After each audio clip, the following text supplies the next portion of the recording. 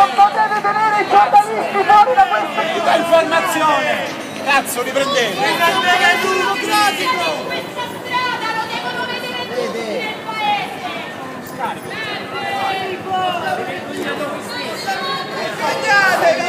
Ci avete paura di farvi vedere dalle telecamere?